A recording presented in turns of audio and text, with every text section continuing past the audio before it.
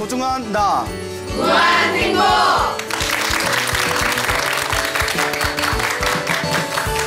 예, 만나서 반갑습니다. 광호 스님이라고 합니다. 여러분 반갑습니다. 예, 반가워요. 예. 오늘은 세상에서 가장 강한 것은 무엇인가 라는 주제를 가지고 이야기를 펼쳐보도록 하겠습니다. 여러분, 세상에서 가장 강한 것이 무엇이라고 생각하십니까? 한번 대답해 보시겠습니까? 엄마? 아, 뭐 엄마의 사랑의 힘이라는 뜻이 되겠죠. 평소에 효도를 많이 하시나 봐요. 예, 그, 예, 그 말할 대답할 때만 엄마. 또 무엇이 있을까요? 예, 어떤 사람들은 뭐 총, 칼, 무기, 폭탄이 세상에서 가장 강합니다라고 대답하는 분도 계십니다. 그리고 어떤 분들은 스님 아무래도 세상이 살아가다 보면 돈의 힘이 가장 강합니다라고 대답하는 분도 계십니다. 혹은 아닙니다. 권력의 힘이 가장 강합니다. 혹은 명예의 힘이 가장 강합니다. 또 아까 엄마라고 대답하신 분처럼 사랑의 힘이 가장 강합니다라고 대답하는 분들도 계십니다. 세상에서 가장 강한 것은 무엇일까요? 불교적인 입장에서 부처님이 가르쳐 주신 세상에서 가장 강한 것에 대해서 우리가 고민해 보는 그런 시간을 가져보도록 하겠습니다. 여러분 한번 잘 따라오세요. 예, 세상에서 가장 강한 거. 불교에서 부처님이 말씀하신 세상에서 가장 강한 것은 무엇일까요? 그 전에 우리가 보통 강한 사람을 가리켜서 무엇에 많이 비유할까요? 강한 사람 하면 가장 많이 비유하는 것이 장수, 장군에 많이 비유합니다. 뭐 힘센 사람 보면 어이구 나중에 천하 대장군감이 될 놈이네 뭐 이런 표현 쓰죠. 네. 요새는 잘 안 쓰나요? 예. 자 그래서 옛날부터 우리 조상들은 굉장히 힘이 강한 사람을 가리켜서 장군 같다, 장수 같다라는 표현을 썼는데요. 장수에도 여러 종류의 장수가 있습니다. 그 여러 종류의 장수를 우리가 간단하게 요약을 해보자면 첫째, 힘이 세고 용맹한 장수가 있습니다. 그리고 둘째, 머리가 뛰어난 장수가 있어요. 그 다음에 세 번째가 가슴으로 사람을 이끌고 포용하는 가슴으로 사람을 이끄는 장수가 있습니다.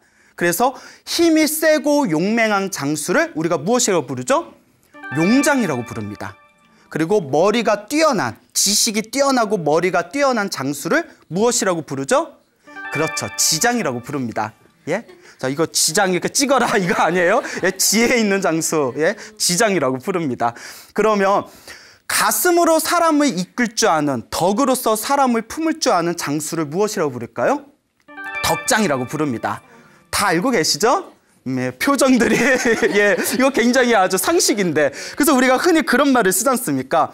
용장 위에 지장 있고 지장 위에 누가 있다?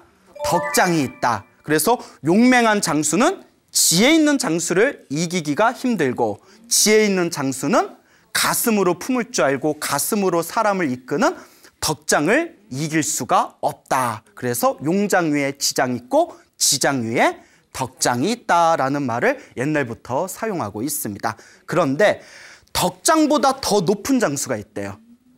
용장, 지장, 덕장보다 더 훌륭한 장수가 있답니다. 최고의 장수랍니다. 누굴까요? 복장이라고 합니다. 복장. 복 있는 장수랍니다. 복 있는 장수. 여러분 제가 복장했을 때 웃은 게 복장 터진다. 지금 그거 생각하신 거죠? 예, 어, 한문 공부 좀 하셔야겠어요. 예, 예, 복 있는 장수, 복장. 복 있는 장수를 이길 수가 없다라는 말이 있습니다. 그래서 용장 위에 지장 있고 지장 위에 덕장 있고 덕장 위에 있는 최고의 장수가 바로 누구다? 복장입니다. 복 있는 장수다. 복이란 건 무엇일까요?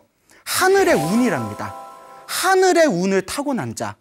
하늘의 운을 타고 나서 하늘의 보호를 받은 장수를 복장이라고 부른다고 합니다. 예를 들어 볼까요? 여러분 징기스칸 아시죠? 징기스칸이 이제 몽골에서 태어나가지고 밑바닥에서부터 성장을 해서 천하를 제패하게 되지 않습니까? 그 정도는 아시죠? 예. 자, 근데 징기스칸이 젊었을 때 큰 전쟁이 벌어졌다고 합니다. 큰 전쟁이 벌어졌을 때 멀리서 적군의 독화살이 날아왔는데 독화살이 목을 꿰뚫었답니다. 징기스칸은 목을 꿰뚫었대요. 예? 여러분, 독화살이 목 꿰뚫어 본 적 있으세요? 예, 그렇죠. 우리 같으면 죽었을 거예요. 살았어요, 죽었어요? 100% 죽었을 겁니다. 근데 징기스칸은 살았을까요? 죽었을까요? 살아났습니다. 여러분, 독화살이 목을 꿰뚫었는데 살아났어요. 그리고 그 후에도 숱한 죽음의 문턱에서 가까스로 부활하면서 결국에는 천하를 제패한 패장이 됩니다. 예? 천하의 패권을 준 패장이 돼요. 그래서 징기스칸 같은 경우가 우리 같으면 아마 독화살이 스치기만 해도 죽었을 텐데 목을 꿰뚫고도 살았어요. 이런 게 바로 복장의 한 실례가 되겠습니다. 여러분 삼국지 다 읽어보셨죠? 네. 예, 삼국지에서 가장 머리가 총명하고 가장 지혜가 뛰어난 분이 바로 누구라고 나오죠? 그렇죠. 제갈공명, 제갈량이 나오지 않습니까? 네, 다 읽어보셔 아시죠? 예? 어, 왜 자꾸 표정들 갸웃갸웃. 예? 예? 삼국지도 다 조금은 아실 거 아니에요?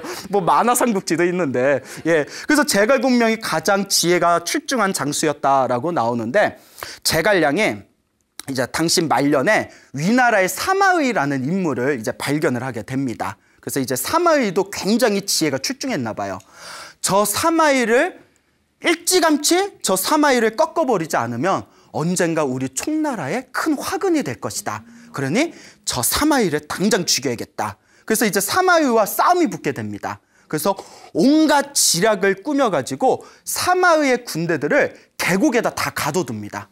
예? 제갈량의 그 놀라운 귀신 같은 술책으로 사마의의 장, 그 병조들을 모두 계곡에다가 모두 몰아넣은 뒤에 위에서 불화살을 날립니다.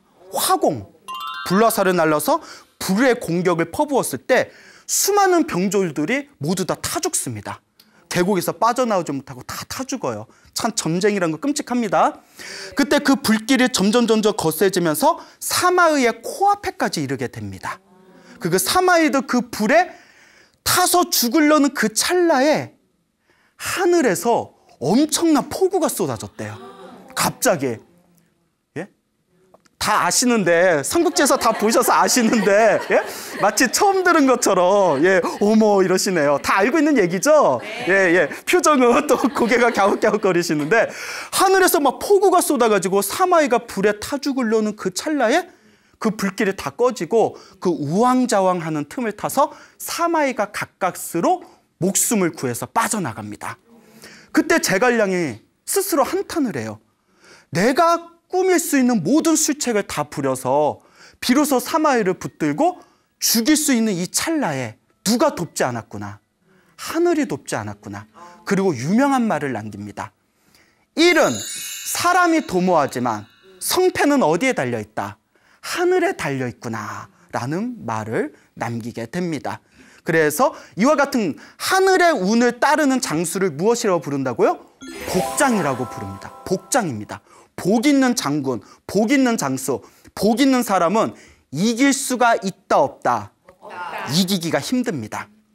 그 제가 예전에 어떤 책을 봤는데요.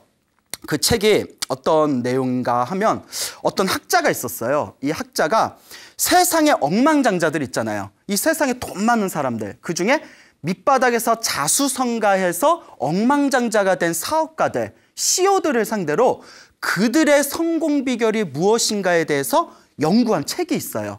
그 사람이 스스로 호기심이 일어났나 봐요.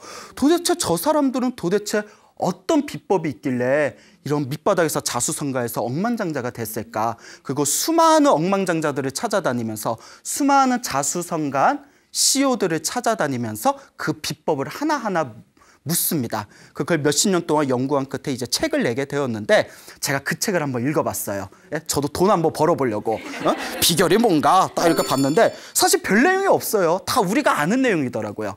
첫째, 독서를 많이 했다. 책을 많이 읽었다. 여러분 책 많이 읽어요? 안 읽어요? 읽어요? 예, 아, 얼마나 많이 읽으시길래 자신 있게 예 좋습니다. 예 책을 많이 읽는다. 아무리 바쁜 아무리 바쁜 시간의 와중에도 반드시 책 책을 가까이 했다고 합니다. 그 다음에 두 번째가 운동을 많이 했답니다. 건강 관리를 열심히 했다. 그러니까 체력이 받쳐주질 않으면 사업도 할 수가 없고 일을 할 수가 없다는 거예요. 그래서 항상 운동하는 조그만 운동하는 시간이라도 항상 자기가 건강 관리를 챙겼다. 그 다음에 또 특기할 만한 부분이 항상 긍정적인 사고방식을 가졌다. 예, 그 굉장히 중요하답니다. 어떤 막 사업을 하다 보면 좋은 일이 생길 때도 있고 나쁜 일이 생길 때도 있지 않습니까? 그 와중에서도 흔들리지 않고 항상 일이 잘 될 거라는 긍정적인 사고방식을 놓치지 않았다라는 누구나 알만한 내용을 써서 책으로 낸 그 내용을 제가 이제 읽어본 적이 있는데요. 그 중에 하나 또 아주 제가 깜짝 놀랐던 부분이 하나 있었어요. 그게 무엇인고 하니 그 자수성가한 CEO들이 자신의 성공 비법 중에 한결같이 꼽은 것 중에 하나가 사실 운이 따랐다. 행운이 따라줬대요.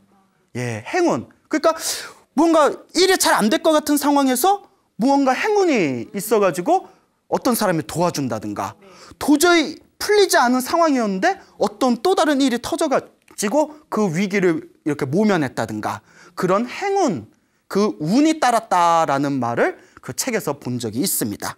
행운. 여러분, 이 행운을 우리 동양에서는 무엇이라고 부를까요? 복이라고 부릅니다. 복. 아까도 장수 중에서 가장 뛰어난 장수가 무슨 장수라고 했죠? 복장이라고 했죠. 자수성가한 CEO들도 한결같은 성공 비법 중에 하나가 무엇이라고 했죠? 행운이라고 했죠. 예? 행운을 우리 동양에서 복이라고 합니다. 그러니까 우리가 무언가를 우리가 무언가를 진행하면서 어떠한 일에 대해서 성취하고자 한다면 밑바탕에 적어도 무엇이 좀 있어줘야 된다. 복이 좀 있어야 됩니다. 복이 좀 있어야 돼요. 그러면 중요한 거. 그 복은 누가 지은 걸까요? 복은 누가 지은 걸까요? 누가 나에게 복을 주는 것일까요? 하늘에서 뚝 떨어지는 것일까요? 그럼 복은 누가 짓는 걸까요? 내가 짓는 것. 내가 짓는 거. 내가 지은 복. 내가 지은 선업에 의해서 받는 행복한 결과물을 복이라고 부르는 것입니다. 자, 그러면 여러분들, 여러분들은 스스로 복이 많으신 것 같아요? 복이 적으신 것 같아요? 많은 것 같아요? 무조건 긍정주의군요. 예. 책도 많이 읽으시고 복도 많으신 것 같고 훌륭하십니다. 예, 예, 진심입니다. 예, 스스로 한번 내가 살아가면서 내 앞에 복이 많은 삶이었나, 복이 적은 삶이었나를 한번 스스로 판단할 수 있는 그런 지혜가 필요합니다. 복이라는 것은 불교에서도 굉장히 중요하게 생각하는 우리 불교 수행의 가장 중요한 핵심 중의 하나입니다. 많은 분들이 복을 굉장히 우습게 보는 경향이 있지만 우리 부처님께서도 복을 아주 중요하게 여기셨습니다. 2600여 년 전 석가모니 부처님이 계실 때 석가모니 부처님 제자 중에 아누르타 스님이 계셨습니다. 아누르타 스님. 기억해 두세요. 아누르타 스님. 자, 아누르타라는 스님이 계셨는데 이 아누르타 스님이 부처님이 설법을 하고 계실 때 앞에서 꾸벅꾸벅 졸았대요. 부처님이 설법을 하는데 졸고 있어. 예? 요새 말로 뭐라고 하죠? 웬열? 예? 아니 부처님이 설법을 하는데 스님이 졸고 있으면 어떡해. 그 부처님이 가만히 쳐다보시고 아누르따를 깨웁니다. 아누르따요. 그 부처님께서 혼냈을까요? 그냥 뒀을까요? 부처님은 자비로운 분이니까 그냥 두셨을 것 같죠? 호되게 혼내셨대요. 아주 호되게 꾸중을 하셨답니다. 여러분, 내 자식이 정말 사랑하는 자식이 잘 되기를 바랄 때 가끔 잘못한 일을 자식이 하게 되면 가끔 사랑의 매를 휘두를 때가 있지 않습니까? 네. 그때 그 자식을 싫어하는 마음이 아니라 어떤 마음이죠? 그렇죠. 더 잘 되기를 바라는 사랑하는 마음이지 않습니까? 부처님도 당신의 사랑하는 제자 안우르다가 열심히 수행하라는 의미로 일부러 호되게 꾸짖었다고 합니다. 예? 똑바로 어? 부처님의 설법을 하는데 듣고 깨달음을 얻어야지 어찌 그리 졸면서 시간을 헛되이 보내고 있느냐 하고 호되게 꾸짖으셨어요. 그 아누르타 스님이 속에서 분심이 일어난 거예요. 그막 부끄럽고 막 화도 나고 속상하고 그리고 다음과 같은 서원을 세웁니다. 나는 지금 이 순간부터 깨달음을 얻기 전까지 절대 눈을 감지 않으리라. 잠을 자지 않으리라. 독해. 어, 스님이 너무 독해. 아누르타 스님이. 아, 좀 혼난 것 같고 뭐 잠을 안 자. 예? 이해 가요? 예? 이해 안 가죠? 예. 그래서 그 스님이, 아누르타 스님이 나는 깨달음을 얻을 때까지 절대 잠을 자지 않겠다. 그 그때부터 오로지 벽만 보고 수행만 하는 거예요. 깨달음을 얻기 위해서. 깊은 명상 수행에 들어갑니다. 근데 사람이 잠을 자지 않으니까 하루, 이틀, 삼일, 일주일, 한 달이 지나면서 눈에서 진물이 흘리기 시작합니다. 눈에서 막 진물이 흘러요. 그래서 이제 의사가 찾아옵니다. 그러니까 아누르타 스님의 눈을 다 이렇게 어, 살펴본 뒤에 부처님께 다음과 같이 고합니다. 거룩하신 부처님이시여 아누르타 스님의 눈병을 고치기는 어렵지 않습니다. 다만 잠을 자야 됩니다. 잠을 자면 쉽게 나을 수 있습니다. 그런데 의사인 제가 아무리 잠을 자라고 권해도 도대체 주무시질 않으니 치료할 방법이 없습니다. 그 이제 부처님께서 아누르타 스님을 부르세요. 아누르타요. 깨달음을 위해서 열심히 수행하는 것은 정말 훌륭한 일이다. 하지만 잠을 자라. 몸이 건강해야 깨달음도 얻을 수 있는 거다. 어서 잠을 자거라. 그 부처님이 스님에게 잠을 자라고 얘기를 했어요. 그 잠을 잤을까요? 안 잤을까요? 잤어요. 예, 그러면 재미가 없어요. 예? 그래서 잤대요 하면 재미가 없잖아요. 부처님, 저는 깨달음을 얻기 전까지 결코 잠을 자지 않겠다고 서원을 세웠습니다. 저는 눈을 감지 않겠습니다. 하고 부처님께 이야기를 합니다. 우리 같으면 잤어요, 안 잤어요? 부처님이 잘하는데 자야지. 아니 왜 부처님 제자인 스님이 왜 부처님 말을 안 들어? 예? 그래서 잠을 안 잤대요. 그리고 오로지 수행만 하다가 결국 눈병이 너무 심해져서 눈이 실명을 합니다. 눈을 잃어버려요. 그리고 놀라운 것은 눈이 실명하는 순간 세상의 모든 이치를 꿰뚫어 보는 천안통을 얻게 되었답니다. 육신의 눈은 잃었지만 마음이 환해져서 세상을 꿰뚫어, 보는 천안통을 얻게 되었다. 이것이 바로 천안제일 아누르타 스님의 이야기입니다. 아시겠죠?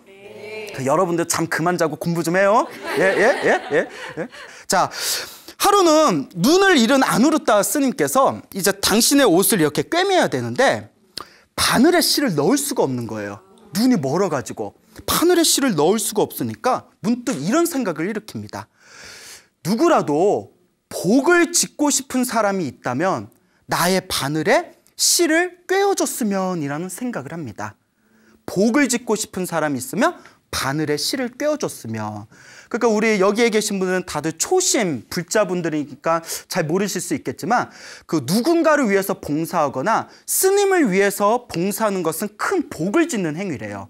나중에 큰 복으로 온답니다. 그러니까 아누르타 스님이 깨달음을 얻은 나를 위해서 요 바늘에 실을 꿰어줬으면 예? 그 사람은 복을 얻을 텐데 이런 생각을 했답니다. 멀리서 석가모니 부처님께서 아누르타 스님의 그 생각을 알아차리십니다. 그리고 호련히 몸을 낮추셔서 아누르타 스님 앞에 짠 하고 나타나셨어요. 그리고 아누르타 스님에게 아누르타여 너의 바늘과 실을 나에게 다오.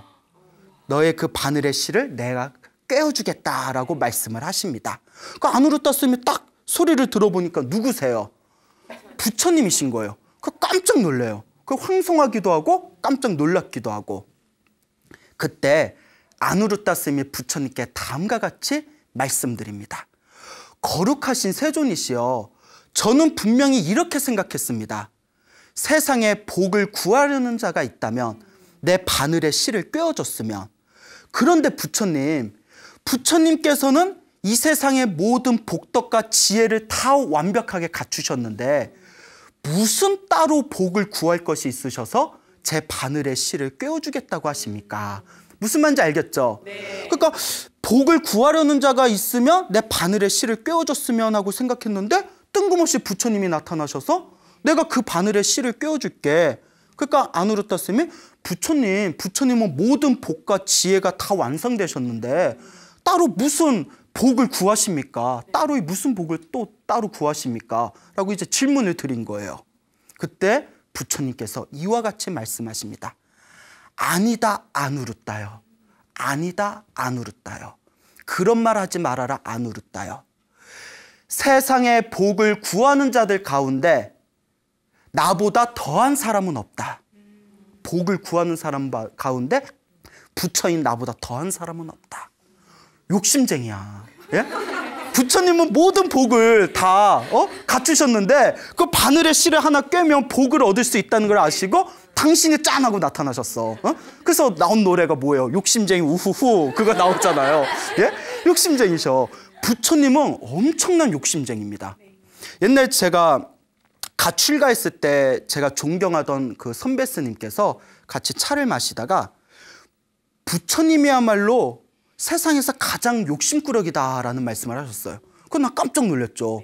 어, 이거는, 이거는 명백한 신앙 모독 아닌가. 어?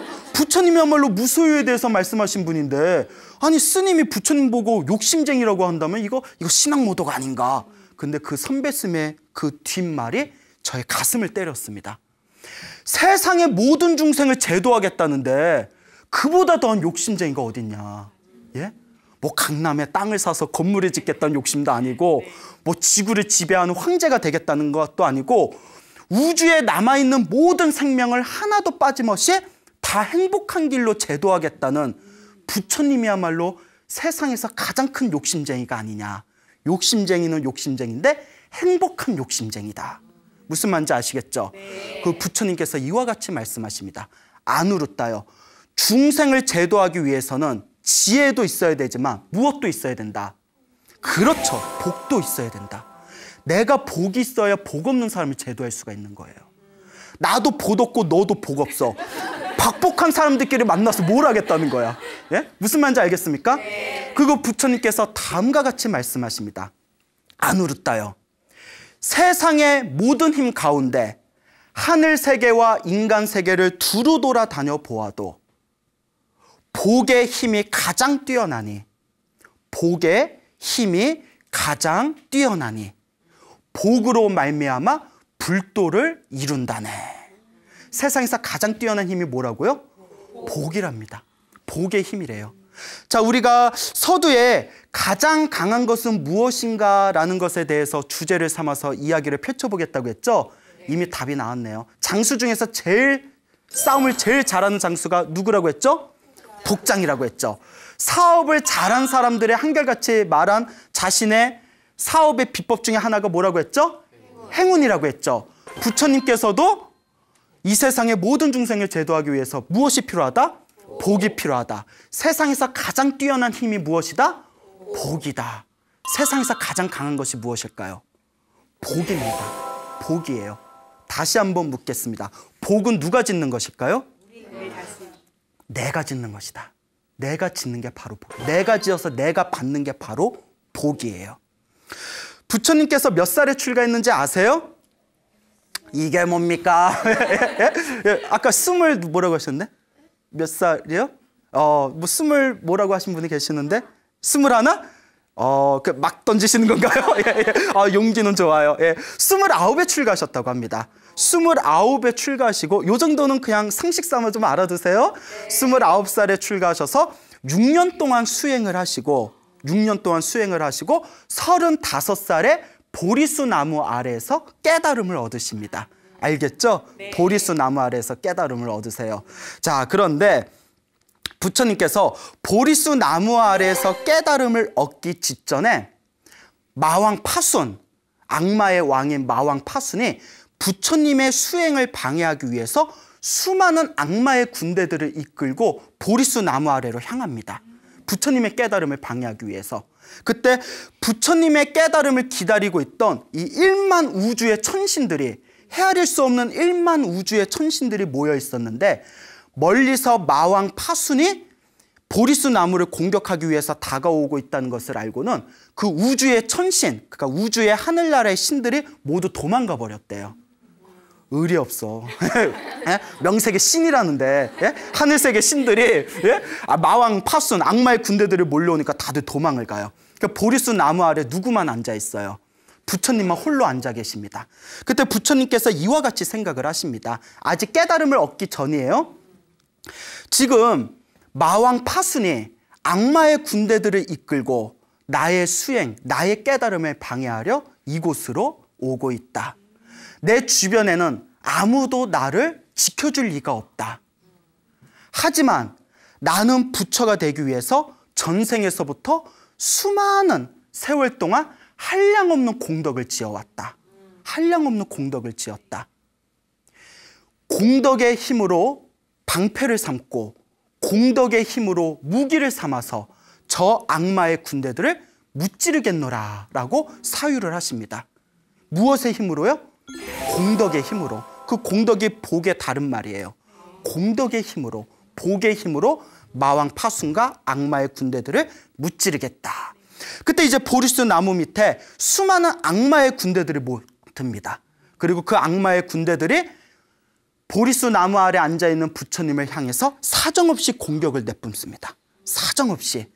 그런데 그 어떤 공격도 우리 부처님의 털끝조차도 건들 수가 없었다고 합니다. 그러니까 다들 놀라는 거예요. 예? 아니 어떻게 우리가 어떤 공격을 퍼부어도 저 부처님의 털끝 하나 우리가 건들 수가 없는 것일까? 그때 부처님께서 마왕 파순에게 다음과 같이 이야기하십니다. 마왕이요, 마왕 파순이요. 그대는 전생에 큰 복을 한번 지은 것 때문에 이번 생에 하늘 세계 왕이 된 것이다. 그러니까 전생에 무엇을 지었기 때문에 복을 지었기 때문에. 그러니까 네가 지은 전생에 복이 있어서 이번 생에 하늘 세계 왕이 된 것이고 나는 과거 전생에 태어나고 죽고 태어나고 죽는 수많은 세월을 반복하면서 붓다가 되기 위해 수많은 복과 공덕을 지었다. 너의 복으로는 나를 이길 수 있다 없다. 이길 수 없다라고 이야기를 합니다. 그때 마왕 파순이 움찔 놀라면서 꾀를 내어 부처님께 다음과 같이 질문을 던집니다.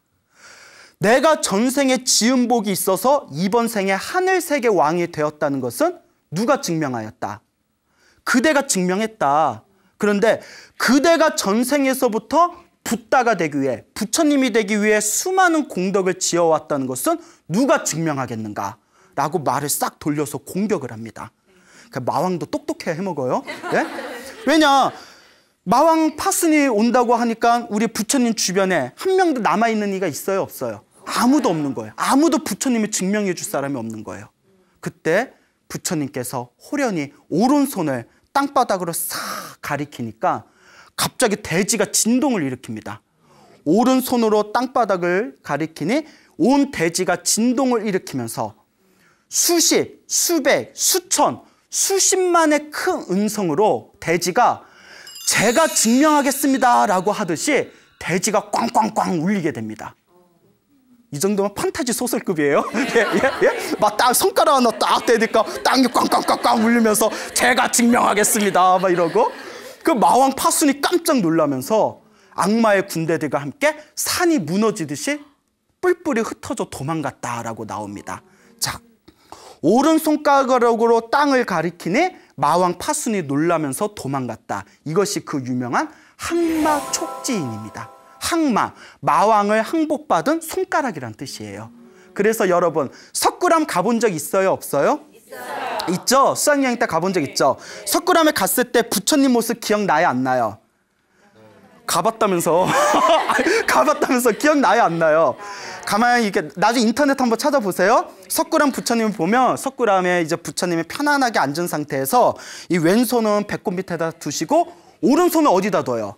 안, 아니에요. 기억 안 나시는 거다. 오른손은 무릎 위에 살며시 올려놓고 계세요. 그리고 손가락을 가만히 보면 손가락을 하나 핀 듯 안 핀 듯 어디를 가리키고 있을까요?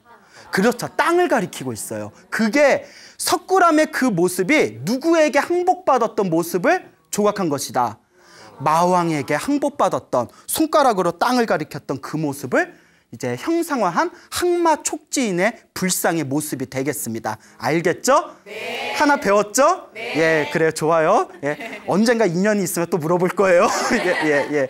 자, 그와 같이 마왕 파순이 물러나고 나서 부처님께서 고요히 보리수 나무 아래서 깊은 성정에 드셔서 초저녁에는 모든 중생들의 전생을 꿰뚫어 보는 숙명통을 얻으셨고 한밤중에는 모든 중생들이 태어나고 죽는 모습을 꿰뚫어 보는 천안통을 얻으셨고 마지막 새벽별을 보시고 모든 번뇌가 사라지는 누진통을 얻으셔서 완전한 깨달음을 얻은 부처님이 되셨다라고 경전에 기록되어 있습니다. 알겠습니까? 네. 자, 근데 여기서 중요한 게 있어요. 마왕 파순이 부처님의 깨달음을 방해하기 위해서 몰려왔을 때 부처님께서는 깨달음을 얻기 직전이었어요. 그러니까 무슨 깨달음의 힘으로 마왕을 물리친 것도 아니었고 지혜의 힘으로 마왕을 물리친 것도 아니었습니다. 마왕과 악마의 군대를 물리쳤던 힘이 무엇이었죠? 그렇죠. 복이었어요. 공덕의 힘. 공덕으로 방패를 삼고 공덕으로 무기를 삼아서 공덕의 힘으로 악마의 군대들을 물리치겠노라. 복, 복과 공덕의 힘이 악마를 이길 수 있었던 가장 강력한 힘이었습니다. 가장 강력한 것은 바로 무엇의 힘이다? 복의 힘입니다. 여러분, 똑같은 질문 한 번 더 드리겠습니다. 복은 누가 짓는다고요? 내가. 내가 짓는 겁니다. 부처님께서는 과거에 수많은 복을 지어왔기 때문에 그 누구도 감히 번접할 수 없는 최고의 경지에 갈 수가 있었던 것입니다. 이 이야기에 대해서 아함경이라는 부처님의 경전에 대해서 다음과 같은 내용이 나옵니다. 부처님께서 기원정사라는 사찰에 계실 때 제자들을 향해서 다음과 같은 법문을 하십니다. 나의 제자들이여 만일 한 가지 법을 따르고 만일 한 가지 법에서 떠나지 않는다면 세상의 그 어떤 존재도 그 사람을 어쩌할 수 없으리라. 그 한 가지 법이란 무엇인가? 무엇일까요? 눈치 빠른 분들. 복입니다. 경전에서는 공덕 복업이라고 나옵니다. 공덕과 복과 선업의 힘, 착한 업, 선업의 힘. 그러니까 공덕, 복, 선업 다 같은 말입니다. 네. 공덕, 복업이 있으면 세상의 그 어떤 존재도 그를 어찌할 수 없으리라 라고 법문을 하십니다. 그리고 부처님께서 다음과 같이 말씀을 계속 하십니다. 내가 보리수 나무 아래에서 마왕 파순과 악마의 군대들이 나를 공격하기 위해서 쳐들어왔을 때에도 이 공덕의 힘으로 이 복의 힘으로 그들을 물리쳤노라. 그리고 이 복의 힘으로 번뇌를 끊고 깨달음을 얻을 수가 있었다. 그러니 나의 제자들아 이것이 가장 중요한 것입니다. 그러니 나의 제자들아 무엇을 열심히 닦아라? 복을 열심히 닦아라 라고 당부하십니다. 그리고 다음과 같은 개송을 남기십니다. 복이 있으면 즐겁고 복이 없으면 괴롭다. 이번 생에서나 다음 생에서나 그대 행복해지고 싶거든 마땅히 복을 닦으라 라는 가르침을 제자들에게 남기십니다. 알겠습니까, 여러분? 네. 예. 하루는 부처님께서 기원정사라는 사찰에서 고요히 이제 머무시면서 제자들에게 법을 설하고 계실 때 어느 한 젊은이가 찾아옵니다. 젊은이가 싹 찾아와요. 그 부처님께 그 젊은이가 부처님께 선배의 예배를 올리고 부처님께 문안을 올리면서 다음과 같이 부처님께 질문을 올립니다. 거룩하신 세존이시여, 거룩하신 부처님이시여, 이 세상의 그 어떤 것이 불에 태워도 타지 않고 홍수가 밀어닥쳐도 물에 잠기지가 않고 태풍이 불어닥쳐도 바람에 날리지 않고 나쁜 왕과 나쁜 도적들이 빼앗고자 하여도 빼앗을 수 없는 것입니까? 어떤 창고에 간직해야 영원히 무너지지 않겠습니까? 라고 질문을 던집니다. 자, 질문 이해하셨죠? 네. 불에 타지 않고 바람에 날아가지 않고 물에 잠기지 않고 도적과 왕이 빼앗고자 하여도 빼앗을 수 없는 거. 그리고 어떤 창고에 간직해야 됩니까? 그때 부처님께서 다음과 같이 말씀하십니다. 복이야말로 불에 타지 않는다. 복이야말로 불에 타지 않는다. 복이야말로 바람에 날아가지 않는다.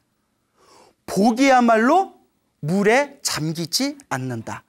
복이야말로 아무리 빼앗고자 하여도 빼앗을 수 없는 것이다.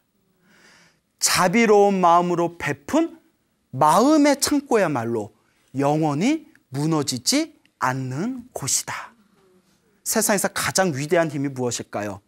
복입니다. 예? 조금 충격적인 얘기를 들으면 아까 여러분이 생각하는 가장 세상에서 가장 강한 힘이 무엇일까요? 라고 질문을 던졌을 때 어떤 분이 엄마요 라고 했죠. 엄마요. 예, 맞습니다. 그런데 조금 충격적인 얘기를 드리자면 복이 없는 사람은 엄마 복도 없어요. 뭔 얘기인지 알죠? 예? 우리 뉴스에 보면 생겨서는 안 될 일들이 자꾸 생기고 있죠. 부모가 자식을 죽이는 같은 경우. 우리 불교에서는 너무나 그런 상황에 대해서 너무나 안타까워하지만 불교적인 가르침에서 보면 그것도 결 그런 부모를 만나고 그런 고통을 당한 것도 결국 전생에 누가 지은 업일 가능성이 크다. 내가 지은 악업의 에너지일 가능성이 크다는 겁니다. 즉 인과응보. 내가 뿌린 씨앗은 누가 받는다? 내가 받는다는 거죠. 무슨 말인지 알겠죠? 내가 복이 없으면 좋은 부모를 만나기가 힘들어요. 내가 복이 많으면 예? 좋은 부모를 만날 확률이 그만큼 크겠죠. 내가 복이 많으면 좋은 자식을 만나게 됩니다. 내가 복이 없으면 자식이 아니라 왼수를 만나게 됩니다. 예? 내가 복이 많으면 좋은 남편이나 좋은 아내를 만날 수가 있습니다. 내가 복이 없으면 예? 좋은 남편이나 좋은 아내가 아니라 악한 남편이나 악한 아내를 만날 수가 있습니다. 결국 우리가 만나고 헤어지는 이 모든 인연의 뿌리는 내가 지은 업의 모습들이다라고 불교에서는 가르치고 있습니다.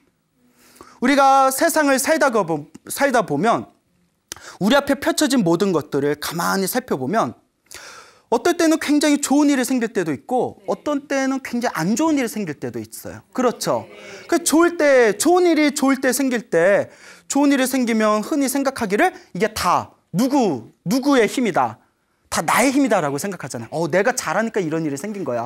근데 그렇잖아요. 내, 내가 잘하니까 이런 일이 생기지. 뭐 내가 노력했으니까 이런 일이 생겼지. 근데 나쁜 일이 생기면 꼭 내 탓이 아니라 누구를 탓하고 싶어요? 남을 탓하고 싶어요. 잘 되면 내 탓, 안 되면 남의 탓, 조상 탓이야. 예? 예? 다 남의 탓이에요. 근데 불교에서는 내 앞에 펼쳐진 행복과 내 앞에 펼쳐진 불행이라는 것 자체가 누가 지은 업의 결과이다. 그렇죠.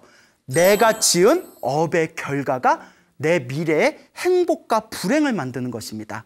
나를 괴롭히는 사람, 나의 행복을 방해하는 사람이 있으면 중요한 거예요. 그런 사람을 만난 것 자체가 누가 복이 없어서 그런 거예요. 내가 복이 없으니까 그런 사람 만난 거야. 어, 표정들이 표정들이 굉장히 격렬하게 예, 인정을 하시네. 내가 복이 없으니까 그런 사람을 만난 거예요. 예? 여러분 이런 얘기 있더라고요. 황, 황금이 나오는 금맥보다도 더 최고의 맥이 있대요. 그게 뭘까요? 예, 스맥? 웬 스맥? 예? 아니, 스맥에서 자다 일어나셨어요? 왜 스맥? 예, 인맥이라고 하죠. 인맥이야말로 최고의 황맥이다. 네. 예, 인맥이라고 합니다. 인복이 따로 있다고 하죠. 좋은 사람 만나는 것도 자기 복입니다. 불교에서는 이와 같이 가르칩니다. 복이 있으면, 복이 있는 사람은 자기가 원하는 일을 할 때 빨리 쉽게 이루어진답니다. 복이 없을수록 자기가 원하는 일이 늦게 힘들게 이루어진답니다. 아예 복이 없으면 그 일이 이루어진다 안 이루어진다? 이루어지지 않는답니다. 그래서 내가 복이 많은가 복이 없는가를 가만히 스스로 살펴보면 예? 복이 있는가 복이 없는가 스스로를 한번 살펴보세요. 그러면 내가 지금까지 살아왔던 나의 삶이 내가 원하는 방향대로 편하게 이루어진 삶인가? 혹은 내가 원하지 않는 방향, 내가 원하는 것과 왜곡된 방향으로 힘들게 펼쳐진 삶이었는가를 스스로 판단해 볼 수가 있는 것입니다. 여러분도 한번 스스로 판단해 보세요. 내가 복이 많은가? 내가 복이 적은가? 복이 많으면 원하는 대로 쉽게 풀리고 복이 없으면 잘 안 풀려요. 그런데 재밌는 게 복도 복도 사람들마다 그 복에 일어나고 사라지는 세계가 조금씩 틀립니다. 복도 사람들마다 어떤 사람은 공부복이 있는 사람이 있어요. 공부를 잘해요. 공부를 잘해요. 여러분 공부복 있어요? 없어요? 없어요? 아, 그렇게 아, 그렇게 대놓고 없어요. 어, 민망하네. 다 있는데 일부러 없다고 하는 거죠? 예, 아, 진짜 없어요? 예. 공부복은 있는데 학교복이 없는 사람이 있어요. 오, 격렬하게 동감하시네. 학생들이라서 그런가?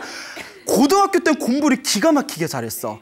근데 막상 수능 시험이 나오 성적이 나오면 좋은 대학에 가요, 못 가요? 못 가요. 그게 공부 복은인데 무슨 복이 없다. 학교 복이 없는 거예요. 자, 그리고 재밌는 게 공부 복도 있고 학교 복도 있는데 관, 관복이 없는 경우가 있어요. 관복이 무엇인고 하니 우리 사법고시 같은 거 봤을 때 판검사가 관직이거든요. 그러니까 어렸을 때 공부를 너무 잘하고 또 학교도 굉장히 좋은 학교 나와서 주변의 모든 사람들이 야, 쟤는 사법고시 보면 분명히 바로 합격할 거야 라고 했는데 10년, 20년을 해도 사법고시가 통과 못하는 사람들의 간혹 있어요. 우리가 이런 걸 가르쳐 공부복도 있고 학교복도 있는데 무슨 복이 없다? 왜? 관복이 없다. 그리고 학교복은 있는데 취직복이 없는 경우도 있어요. 동감하시죠? 굉장히 좋은 학교를 나왔는데 이상하게 취직이 잘 안 돼. 눈높이가 너무 높아서 그런가? 예? 취직이 안 돼. 취직복이 또 따로 있어요. 어떤 분은 취직복도 있고 재물복도 있어요. 재복. 예, 돈도 많아요. 재복도 있어요. 근데 그렇죠. 가족복이 없어. 콩가루 집안이야. 막장이야. 여러분, 저는 제 인생의 모든 연애와 결혼 생활을 사랑과 전쟁에서 배웠습니다. 아 제가 일찍 출가해가지고 연애를 안 해봤어요. 예? 그래서 사랑과 전쟁을 보면서 사랑과 전쟁 보면 정상적인 집안이 하나도 없잖아요.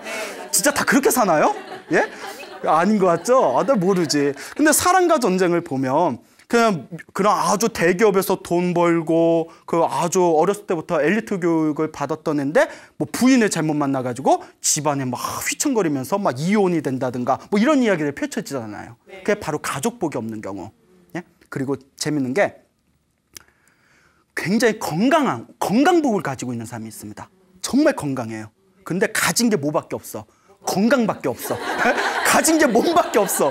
예? 그러니까 뭐 재물복도 없고, 예? 예? 그때 뭐, 뭐, 어, 가족복도 없고, 뭐 아무것도 없어. 근데 몸만 건강해. 몸만 건강해. 그런 경우도 있어요. 남 얘기가 짠죠? 예. 예? 저의 가진 거 젊은 뿐이 없어요. 뭐 요새 이런 애들 많지 않습니까? 예. 근데 그것도 큰 복입니다. 예. 건강이, 건강이 안 좋은 게 가장 불운한 업이에요. 그러니까 건강한 게 중요합니다. 건강하면 기회도 있어요. 알겠죠?